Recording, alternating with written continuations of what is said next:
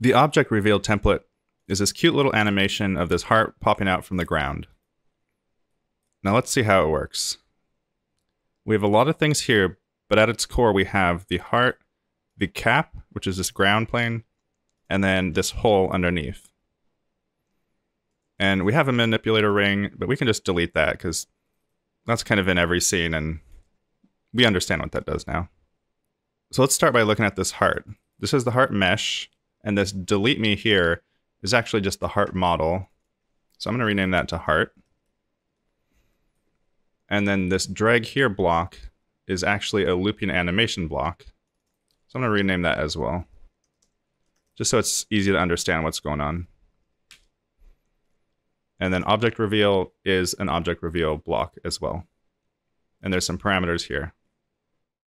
But we're not going to look at these too much. Because basically, this heart just pops up from the ground. And that's easy enough to do with an animation patch or using this looping animation. There's a number of ways to do that, so we won't get into that. And then this hole down here is basically just a cylinder with the top open. So you can see inside of it, there's this edge there. And again, that's not too complicated, so I think you kind of understand what's going on there. The real trick is this cap here. And this is similar to the occlusion that was used in the sunglasses template and just in occlusion in general. So what's going on here? Right away, we can see two things happening. Out here on this plane itself, there's a video plane, which is this yard here. And as we move this camera around, this is kind of stuck in place. So that's one part of it. And then the other part is this hole here.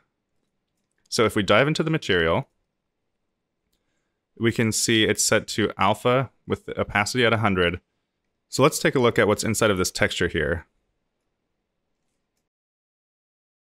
This cap mat here is where the texture is coming from.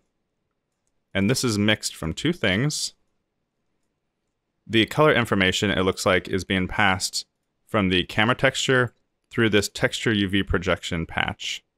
So what happens if we skip this patch and go straight in? Now you can see the video is projected across the whole plane, but of course that's wrong because you can see the flat plane is here, so this is all smushed up. When you're looking at it from an angle, it doesn't work out. So this texture UV projection is essentially projecting the camera texture from the camera, which is grabbing the UV coordinates of that, and then is applying it to this. So that's why it slides around like this. And then the hole comes from this alpha. And if we go back here, there's a lot of stuff going on, but the key here is this SDF circle. You can see if we move around the center of it, that hole scoots around because this is what's generating this alpha channel here. We can visualize this better if we skip this step patch and then turn off alpha test really quick. And you can see there's this really soft circular alpha here. So what the step does is it removes any of the gradation and just goes from a solid white to a solid black. And if you change the steps, it'll kind of increase where that takes place. And that's kind of the, the key of all of this. A lot of these other nodes just add to the animation or link up a lot of the parameters of you know the speed and everything or the travel distance all these other parameters.